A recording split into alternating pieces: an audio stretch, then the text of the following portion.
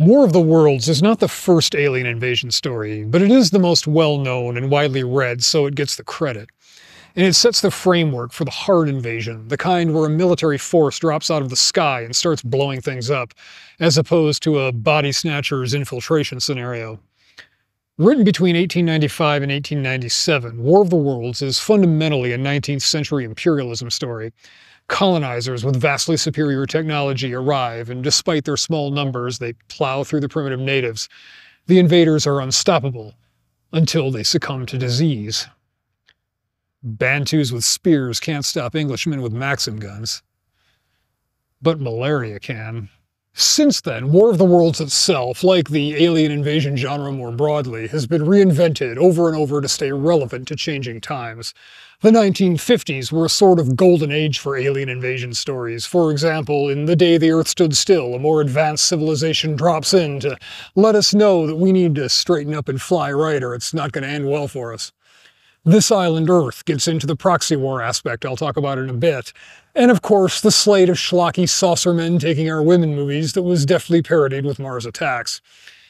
And amidst all this was the 1953 adaptation of War of the Worlds, now set in Los Angeles as the British Empire's place as the leading world power had passed to America.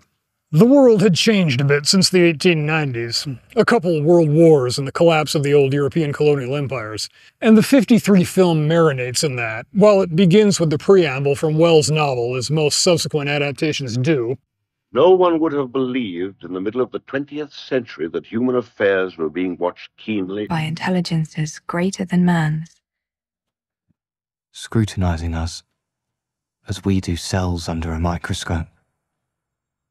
Across the gulf of space, intellects vast and cool and unsympathetic, slowly and surely drawing their plans against us. This British critique of British colonialism by a British socialist is largely overtaken by American fears of the time. War with unstoppable waves of communists, immigration to some extent, and most striking to me, a loss of faith in technology as a mechanism for steady progress. Perhaps best shown with the sequence of the Army trying to stem the Martian advance with an atomic bomb dropped by the most futuristic bomber of the time, Northrop's YB 49 prototype, which incidentally never entered service. The bomb detonates over the Martian war machines, and the soldiers nervously wait for the cloud to clear, only to reveal the Martians still advancing unscathed. This is repeated almost exactly in numerous other alien invasion films, perhaps most notably in Independence Day. Mankind's most devastating weapon is completely ineffectual against this outside force. It's like fighting fire with a sword. Independence Day is also a fine example of the change in reasons for the invasion. Stories like War of the Worlds are riffing on colonialism. They're here for our land, they want territory. But this gradually shifts until we get to films like Independence Day, Battle Los Angeles, or the miniseries V, where they are explicitly here for resources. It reflects changes in the real world. Western countries don't set up colonies in Africa anymore, but corporations run mines there with local labor at dirt cheap wages which honestly is worse. At least colonialists built infrastructure in cities, established schools. They were there for more than just to strip valuables from the ground and leave a pit. The Martians in War of the Worlds came to Earth to make it home.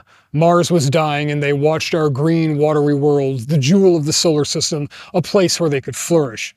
The visitors in V are mostly here for water, and while it makes no sense traveling interstellar distances to pump water out of a gravity well, narratively it's notable.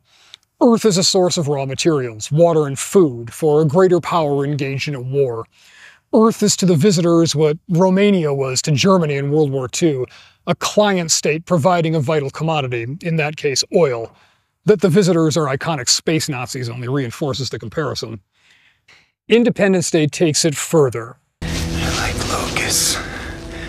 They're moving from planet to planet, their whole civilization. After they've consumed every natural resource, they move on.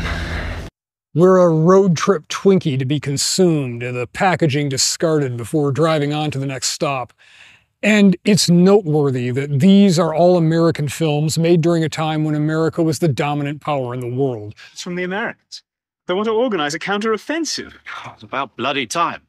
Just as War of the Worlds was written in the context of a dominant British Empire. These stories can be enjoyed on their own merits, but their full impact comes from the context of a dominant civilization, one that has overcome threats and crushed its enemies, having a buried fear of being on the receiving end of what it's doled out.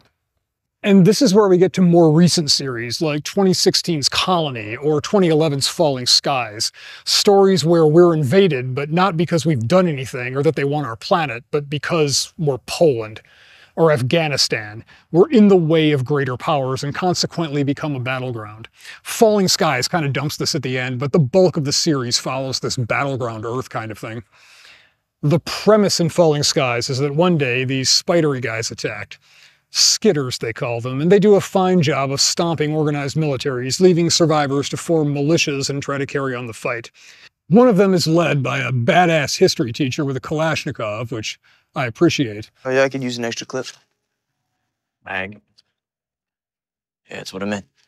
But the core is that the aliens are here, they swatted us out of the way, and we don't know what the hell they want. A few seasons in, another group of aliens, the Volm, show up.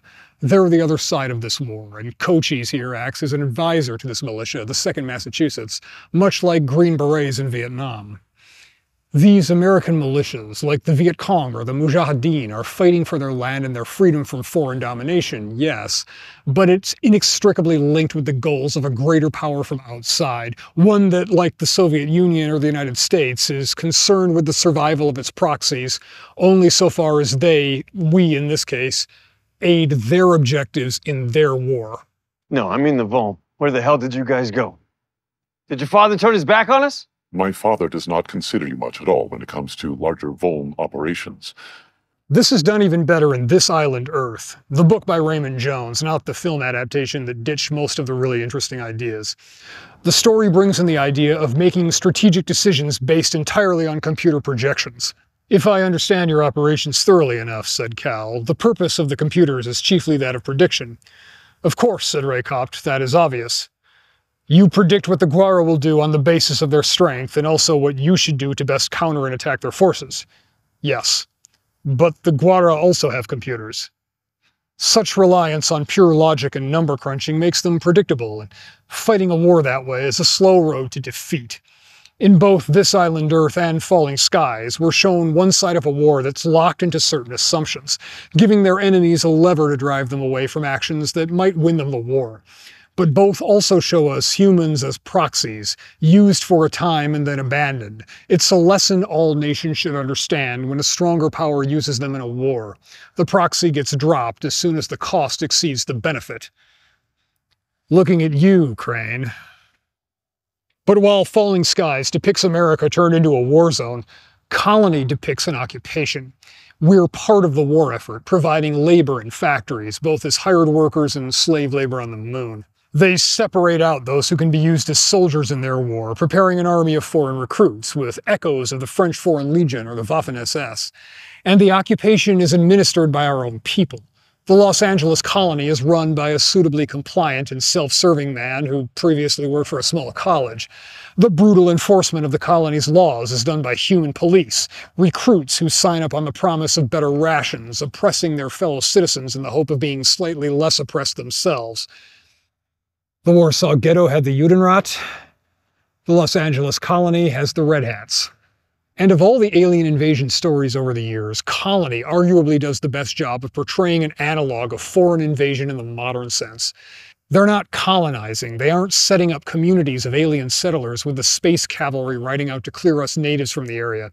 Like a grittier version of V, the invasion doesn't lead to constant war or an apocalyptic wasteland, but rather an amplification of all the worst elements of what we already have. The laws get more restrictive, the police more violent, the bureaucracy more capricious, and the taxes much higher, up to direct forced labor instead of merely taking a portion of wages. It's not so much being conquered as just having all the worst aspects of our current neoliberal political order turned up to 11. But the categorization of these stories isn't a neat progression from colonialism stories to resource war stories to proxy war, techno-tyranny analogies.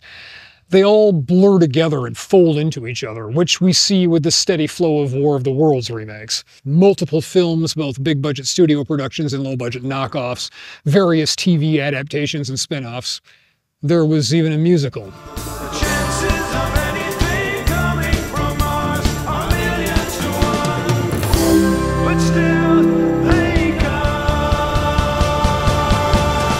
All of them, to some extent, try to adapt the story to their own time, whether by setting it in the present day, like Spielberg's 2005 film, remapping dialogue to issues of the day. They can't occupy this country. Occupations always fail. History's taught us that a thousand times. Or keeping the story set roughly in the original period, but adjusting the messaging. For example, the 2019 BBC miniseries, which shifts the focus from the colonial war aspect of it to the ecological catastrophe of the Martian. Areoforming, I guess would be the term. But at its core, War of the Worlds is a 19th century story, and some scenes don't translate well. I always chuckle a bit when the local garrison being called up gets transformed into a modern mechanized unit showing up and parking tanks in a line to wait for the Martians as though Napoleon were in charge and someone told them that tanks are just cannons that pull themselves. I find it particularly curious because H.G. Wells foresaw Great War style armored warfare in his 1905 story, The Land Ironclads, while people adapting War of the Worlds people who live in a world where tank battles have happened just put them in a line to sit there and get zapped with Martian heat rays. Speaking of tanks, we see War of the Worlds absorbing themes of dehumanizing mechanization with attempts to blend the Martian invasion with the Great War. While it's oversimplifying to say that it was the first modern industrial scale war, it was on a scale far in excess of anything prior and saw a number of innovations from tanks to combat aircraft to widespread use of machine guns by European armies fighting each other, as opposed to slaughtering natives several steps down on the technological ladder. There's definite parallels between the idea of being invaded by technologically superior aliens and fighting or living under a technologically advanced state with hostile tendencies, not only in terms of direct threat, but via surveillance. The camera tentacle of War of the Worlds evolves into the Orwellian surveillance state of colony, and finally with the 2019 War of the Worlds series that begins with the invaders wiping out most of humanity with a weapon that we can't see, feel, or fight, able to shut down our bodies due to detailed knowledge of how our brains work. It's a rather blunt allegory for an oppressive surveillance state that knows everything about us and can snuff any of us out if we become too troublesome. The only way to survive was to literally go underground. But invasions don't have to involve soldiers or tripod walkers, and force and fear aren't the only mechanisms of control. The genre also gives us numerous takes on infiltration, conquering us without even noticing. Two of the most famous being Invasion of the Body Snatchers and its multiple iterations, and of course, They Live. While Body Snatchers gives us the horrifying and perhaps oddly familiar premise of our friends and neighbors being replaced by pod-grown duplicates, They Live shows a top-down approach that is sharply on point. Our billionaire class aren't literal space aliens, but the people at the top of our society, those with the majority of wealth and political power, have different priorities than the rest of us do. Maybe even malicious intentions in some cases. We're distracted from this by controlled narratives and consumerism. Mass media exists to make us buy things, both literally and in a figurative sense. The story of the down and out drifter John Nada discovering the truth of the lie he lives in is even more relevant today, with the extent of media manipulation and censorship so widely known and trusted institutions rapidly crumbling after years of blatant incompetence and or malice. They Live shows us a world in which we can believe we're free, but it's freedom within an illusion. What zookeepers call enrichment. But sometimes we bump up against the edge of the enclosure and we realize how small our range is. Which is why I'd be remiss if I didn't mention the silence from Doctor Who. They go a step further than They Live's Blue Scullies with the ability to implant strong suggestions in the human subconscious, not only letting them dictate policy at the highest levels of government simply by telling leaders what to do, but also by making humans consciously forget the encounter as soon as it ends. There can be no resistance because even if they are revealed, no one will remember to act on the knowledge. Unless, of course, the silence can be tricked into ordering their own extermination in some piece of media that nearly everyone will see at least once in their life. It's one small step for man. The bulbous-headed alien said it, not me. But not all alien invasions are overtly hostile. I need to mention Alien Nation, originally a 1988 film and then a short-lived series. Alien Nation plays off America's long history of a blurred line between invasion and immigration. The premise for this one is that in 1992, a big flying saucer full of a couple hundred thousand alien slaves crashes outside Los Angeles.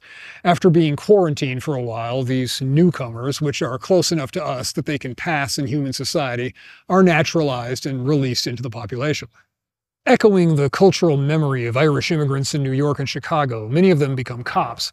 They're given new American sounding names. I'm not going to introduce you to people as Sam Francisco. Uh, I think I'll call you George. And they settle on the West Coast, despite the little issue of their flesh dissolving in salt water. But it's not all bring me your huddled masses. They form their own communities, speak a foreign language, eat strange foods. Why's it gotta be sour milk they get wasted on? Why can't it be like Jack Daniels or uh, Thunderbird, for Christ's sakes? What's wrong with that? Even after assimilating into suburbia, they're still seen as foreign, alien. Wow, you sure look like your mom. Oh, well, I mean, you know, that's. But as this early scene in the film depicts, the new wave of immigrants takes some of the heat off of other minority groups. You ever try to make a case down in Slagtown? A list of newcomer informants is about as long as a list of Mexican war heroes. Hey, hey, come on. White and black are united in their suspicion and dislike of the newcomers, casually tossing about racial slurs on the new outgroup. Slagtown, I hate this place. Look at this crap. I wonder if their plumbing's the same. Yeah, it is. What? Oh, man, get out of here. In this case, the hostility is exacerbated by the fact that they're physically stronger. They live longer. Their average intelligence is higher. Purists believe that if we don't have complete victory over the aliens, we will face the end of our race, our planet, in our lifetime. It pits the immigrant experience of trying to adjust to a new culture up against the threat of extinction as an invasive species takes over the habitat. And through the film and TV series, it's portrayed at all levels of society. There are newcomers who have become rich within the capitalist economic structure. There are newcomer gangs taking turf on the streets of LA. And unlike straight invasion stories, there's no obvious bad guys when you get down to the granular level of the individual. Detective Francisco and his family aren't monstrous invaders. Albert, the precinct janitor, isn't here for world domination. Individually, they're people, co-workers, neighbors, but collectively they are two distinct cultures vying for dominance, which is a big part of the American story. The cultures blend, taking pieces from each other until the grandchildren of the immigrants are Americans like everyone else. And it's a question every generation has to grapple with. Who, how many, how fast? Because the difference between immigration, colonization, and invasion is really just numbers and time. And with that, everyone is waiting for me to say something really inflammatory, but the real strength of science fiction is its ability to let us talk about contemporary issues in a non-contemporary setting. It's how our culture talks about the underlying issues with war, race, immigration, without bashing headlong into contemporary politics and biases. Whether we're in 19th century England or 21st century America, we keep retelling stories of alien invasion because we're always experiencing wars and cultural tensions we have an easier time talking about it through allegory than face on. But great sci-fi isn't just allegory. It brings something new. War of the Worlds wasn't just saying imperialism is bad for the people getting invaded. Instead, it says, what if it happened to us? It not only flipped the narrative and made people in Britain think about being on the receiving end of a colonial expedition, of seeing the death of those colonizers from disease as salvation rather than a blight to be overcome, but also made people think about Mars, about travel through space, made people consider that they might live in a bigger world than the world. And from that, a new universe of possibilities opens up. And we like to see stuff blow up. That's cool too.